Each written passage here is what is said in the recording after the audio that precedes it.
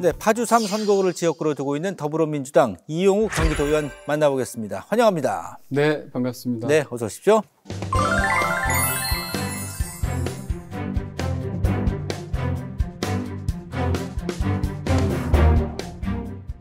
네, 저희 시작하면서 경기도민과 파주시 지역구민들에게 인사 한 말씀 부탁드리겠습니다. 네, 안녕하세요. 저는 파주 출신으로 경기도 경제노동위원회에서 일하고 있는 이용욱 의원입니다. 저희 경제노동위원회는 언제나 도민들께 열려있는 위원회입니다. 도의회 방문해 주시면 정말 감사하겠습니다. 지금 인터뷰 녹화가 진행되고 있는 시점은 비회기 중이고 어, 지금 좀 어떻게 지내고 계신가요, 요즘은? 네, 비회기 중에는 주로 지역 현안 사업에 매진하고 있고요. 네. 네. 그 이외에도 저희 경제노동위원회는 4개 실국과 1개 외청으로 그리고 11개 공공기관을 가지고 있어서 어, 타 위원회보다 그 업무량이 많은 편이라 예, 자료도 많이 보고 행감이나 뭐 질의자료 같은 것들도 예, 만들고 준비하고 공부하고 있습니다. 예. 그 의원님이 20년 가까이 세무사로 활동을 하셨더라고요. 네. 뭐 파주 지역에서 이렇게 재정 전문가로 어, 활동도 꾸준하게 하셨고요. 세무서 어, 산하위원회에서 이렇게 활동을 많이 하셨더라고요. 아, 그리고 이제 7대 파주시 의원도 지내셨고 네. 어, 세무사 하시다가 이렇게 정치문은 어떤 계기로 하시게 되셨나요? 아, 저는 그 파주에서 태어나서 이제 자라왔는데요. 네. 저희 아버님도 이제 공직에 계셨던 것도 영향이 있었고, 아, 저는 개인적으로 과거 저희 지역에 있었던 효선이 미선이 사건이 어, 사회적 문제에 관심을 갖는 계기가 되었고요. 네. 그 뒤에 어, 총선이나 대선 관련 활동을 하면서 자연스럽게 그 정치에 입문하게 된 것 같습니다. 예. 시의원 하시고 이제 또 광역 의원이 되셨습니다. 네. 도의원 한 8개월여 지내셨는데 도의원의 삶은 좀 어떠신 것 같습니까? 아, 도의원은 한마디로 비즈니스맨의 삶이 아닌가라는 그런 생각을 하고 있습니다. 네네. 다시 도민들이 즐겨 찾는 단골 도의원이 되려면 그만큼 성실하게 일해야 된다라는 그런 생각을 가지고 있고요. 네. 늘 긴장하면서 최선을 다해 의정 활동하고 있습니다. 네. 그 이제 고향이 파주시고 또 쭉 활동을 해 오셨는데 아무래도 고향에서 이렇게 정치 활동을 하신다는 것 자체가 아, 남다른 의미가 있을 것 같거든요. 예, 어떠신가요? 말씀드린 대로 파주에서 태어나서 초중고를 나오고 네. 파주에서 세무사업을 해오던 중에 시의원을 거쳐서 도의원을 하고 있다 보니까 어, 어느 누구보다도 저희 파주 지역을 사랑하고 네. 잘 이해하고 있는 정치인으로서 네. 지역 현안 문제들에 대해서 잘 알고 있고 그 문제들을 시민과 함께 풀어나가기 위해서 또한 노력하고 있습니다. 네. 지금 말씀해 주신 것처럼 파주시의 현안들을 잘 파악하고 계실 텐데 일단 좀 굵직굵직한 현안들은 좀 어떤 게 있습니까?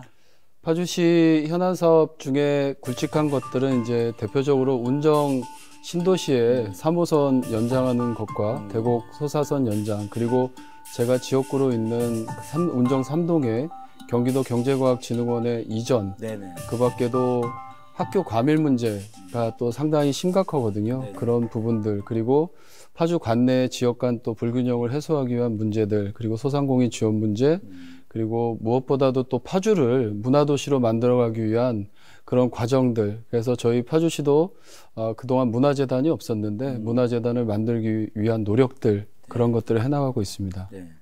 역시 이제 이슈가 되고 있는 것은 지금 김동연 지사의 이 민선 8기에서는 경기 북도 신설인데 이 관련해서는 좀 어떤 계획들이 있을까요? 어, 지금 경기 북도 신설을 위해서 그 도에서는 TF를 만들어서 운영 중에 있고요. 어, 경기도 의회에서도 그에 상응하는 특위를 만들어서 경기 북도 분도를 위한 노력들을 모아가고 있습니다. 네네 그러시군요. 역시 이제 경기 북도 신설을 위해서는 첫 번째도 두 번째도 이 남부와 좀 달리 남부의 지원을 받지 않고 스스로 자립이 가능한 자생력이 중요하다 이렇게 어, 의원님도 언급하셨고 또 관련된 뭐 많은 분들도 그렇게 말씀을 하고 계십니다.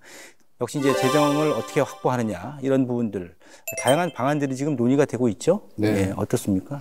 경기 북도 분도를 위한 노력들은 그동안 수없이 많이 진행되어 왔지만 네. 그 재정 자립도 문제에 부딪혀 가지고 그동안 어, 좌절을 겪어왔는데요. 저는 재정 자립도 확보를 위해서 무엇보다도 그 남부에 치우쳐 있는 아, 4차 산업 그 빅3라고 할 수 있는 어, 바이오 헬스나 반도체 그리고 미래차 같은 산업들의 클러스터를 경기 북부까지 끌어올려서 네. 경기 북부에 그 4차 미래 산업의 거점 도시들을 많이 만들어 나가는 게 상당히 중요하다라고 생각을 하고요. 네.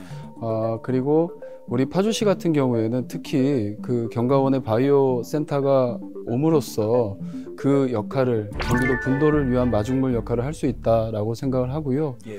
지금 경기 북도 분도를 위해서는 특별자치도 지정이 꼭 필요하다고 생각은 하지만 네.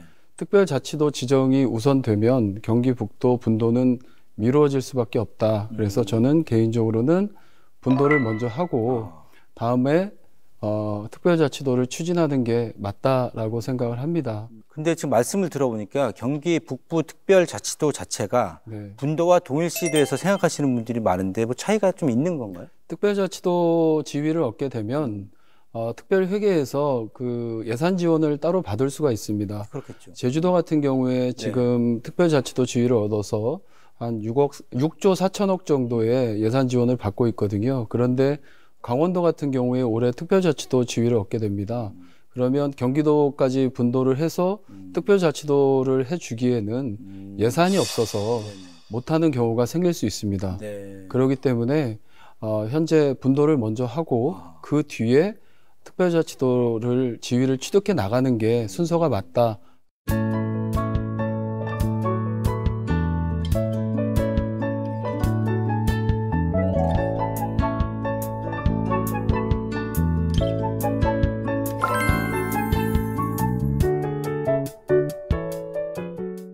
상임위가 경제노동위 예, 바쁜 그런 상임위라고 네. 앞서 말씀을 해주셨는데 특히 지역 상권의 활성화에 대해서도 관심이 많으시더라고요. 네. 뭐 골목 상권 또 전통시장 어, 이쪽이 어렵다라는 얘기는 뭐 사실 코로나 이전부터 있었는데 코로나를 겪으면서 더 정체된 감이 없지 않아 있고 이제 다시 또 활성화를 좀 위해서 도모해야 할 부분이 많을 텐데요.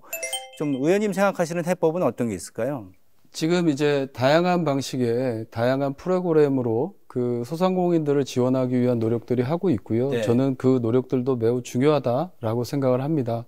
근데 실제 그 소상공인 분들을 만나서 대화를 나눠보면 어, 이런저런 그 다양한 지원도 좋지만 실제 가장 큰 효과를 그 손님들을 찾아오게 만드는 전통시장에 음. 아, 찾아오는 그 역할은 지역 카페가 하고 있다라는 말씀들을 실제 해주십니다. 네네. 그래서 지역 카페 어, 공급을 늘렸으면 좋겠다라는 그 요구들이 실제 현장에서는 상당히 많습니다. 음. 근데 현재 안타깝게 정부 예산이 절반가량 삭감이 되고 도 예산도 한 천억가량 어, 따라서 삭감이 되면서 우리 그 전통시장 소상공인들은 많은 걱정을 하고 계십니다. 네. 올해를 어떻게 보내야 될까라는 고민들을 많이 하시는데요. 네.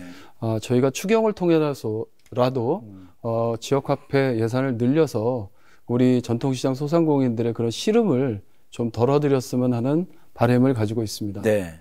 자, 이제 지역구 얘기, 파주시 운정 삼동을 지역구로 두고 있는데 앞서 이제 여러 현안 가운데 말씀해 주신 것처럼 운정 신도시도 과밀학급 문제가 매우 끊임없이 제기되고 있습니다. 이 문제 말고도 지금 지역구 내 현안들 뭐 여러 가지 있죠. 저희는 또 지학사 이전 문제가 있습니다. 지학사요? 그래서 예, 예. 지학사가 도심 한가운데 주택가에 있어서 공장 이전 문제도 있고요. 네.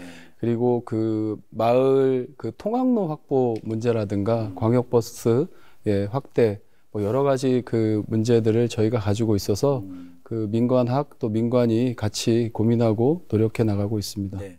지금 말씀해 주신 현안들 몇 가지 이렇게 언급해 주셨는데 해결로 갈 수 있는 그런 좀 어, 가능성이 높은 현안들은 좀 있습니까? 일단은 지금 그 학교를 그 신도시가 이제 생기면서 저희가 그 평균 연령이 40세가 되지가 않습니다. 예, 상당히 젊고요. 네. 그리고 타 지역보다 저희가 출산율이 또 높습니다. 네.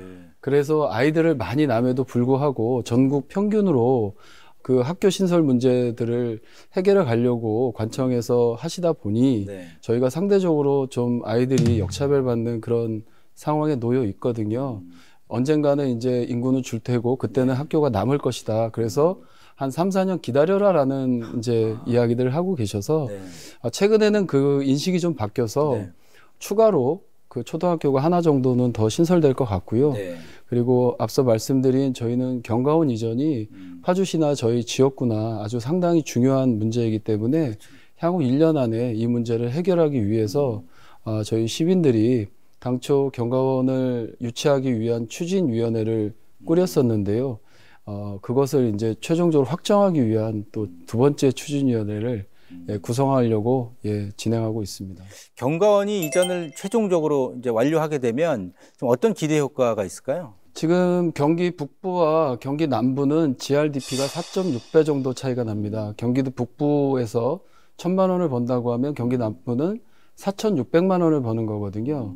경기 북부는 상대적으로 저임금 저 부가가치에 일자리 밖에는 없습니다. 그래서 저희 지역에서 타지로 나가거나 아니면은 뭐 공장 노동자나 이런 것들을 할 수밖에 없는 상황이거든요.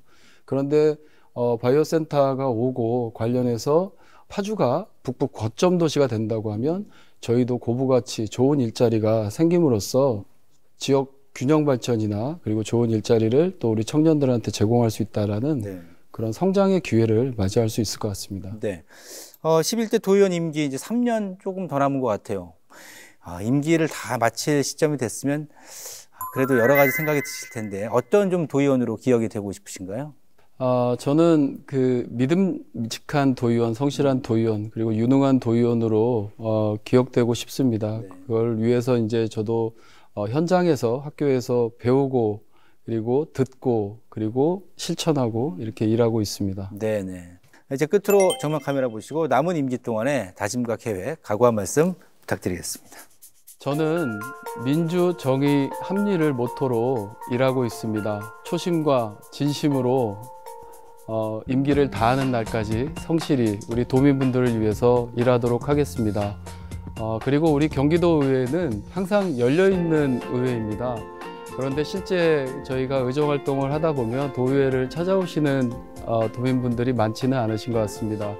저를 오늘 이렇게 보시게 되셨으니까 언제든지 전화 주시고 찾아오시면 제가 도의회에서 우리 도민분들을 반갑게 맞이하도록 하겠습니다.